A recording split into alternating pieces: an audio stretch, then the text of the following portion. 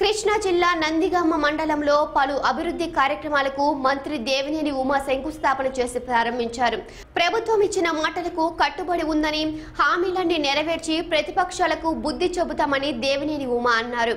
ఈ కార్యక్రమంలో మంత్రి దేవినేతో పాటు ఎమ్మెల్యే తంగిరాల సౌమ్య ప్రభుత్వ అధికారులు పాల్గొన్నారు.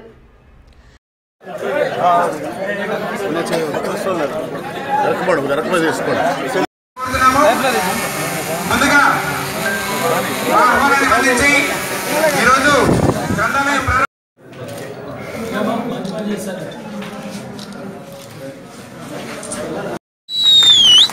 మీకు వెయ్యి రూపాయలు ఇస్తా అన్నాడు మీ పెద్ద కొడుకు. ఇచ్చాడు కదా? కొత్త పెన్షన్లు ఇచ్చాడు కదా?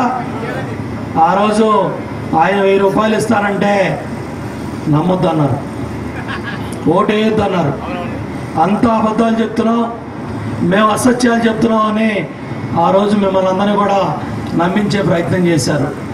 అమ్మ రాష్ట్రం వెళ్ళిపోయింది కొత్త కాపురం. లక్ష కోట్లు అప్పిచ్చి కట్టుబట్టలతో హైదరాబాద్ నుంచి పంపించారు.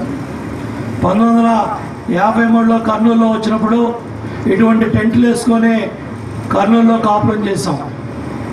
అప్పుడు రాష్ట్రం అంతా కూడా మూడు ప్రాంతాలు కలిసి ఉండాలంటే ఆ రోజు నవాబు గారి బిల్డింగ్లు బాగున్నాయని నవాబు గారు బిల్డింగుల కోసం ఆశపడి హైదరాబాద్లో కాపురం పెట్టాం. పంతొమ్మిది వందల యాభై ఆరు నవంబర్ ఒకటి. యాభై ఆరు నుంచి రెండు వేల పద్నాలుగు వరకు తప్పకుండా చేపిస్తాను.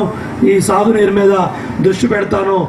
ఎందుకంటే చెక్ డ్యామ్స్ దయచేసి ఇస్రో వాళ్ళు చెక్ డ్యామ్స్ ఎక్కడెక్కడ కట్టుకోవాలో సమాచారం ఇచ్చారు. మా జలవనరుల శాఖ గ్రౌండ్ వాటర్ మీకు గ్రామంలో ఎక్కడ చెక్ డ్యామ్ కట్టాలో మీకు సమాచారం ఇచ్చాం. మీలో రిటైర్ అయిన ఇంజనీర్లు ఉన్నారు మండలంలో. వాళ్ళను కూడా ఒకళ్ళిద్దరిని తీసుకుంటాను. పనిచేసే ఇంజనీర్లు రిటైర్ అయిన పెద్దలు నీటి సంఘాల సభ్యులు జన్మభూమి గ్రామ కమిటీ సభ్యులు గ్రామాల్లో ఉన్న పెద్దలంతా కూడా మీరు చెక్ డ్యామ్ నిర్మాణాల్లో భాగస్వాములు అవ్వండి. చెరువులు బాగు చేసుకోండి. కాలువలు బాగు చేసుకోండి. చెరువులో కంప కూడా మూడు రూపాయల అరవై ఆరు పైసలు ఇస్తున్నాను. ఒక స్క్వేర్ మీటర్ మీరు కంపతీస్తే మూడు రూపాయల అరవై ఆరు పైసలు మీకు ఇస్తున్నాను. దయచేసి కాలువ పనులు చెరువు పనులు చెక్ డ్యామ్ పనులు ఈ నీటి సంరక్షణ ఈ నీరు చెట్టు నీరు ప్రగతి తొంభై రోజులు ఒక సామాజిక బాధ్యతగా జల సంరక్షణ కార్యక్రమంగా చంద్రబాబు నాయుడు గారు అమెరికా వెళ్ళినా కూడా ఆయన ఈ కార్యక్రమాల మీదే మాతో మాట్లాడుతున్నారు. ఐటీ కంపెనీలు తీసుకురావాలని మన పిల్లలకి ఐటీ ఉద్యోగాలు రావాలని వ్యవసాయ ఆధారిత పరిశ్రమలు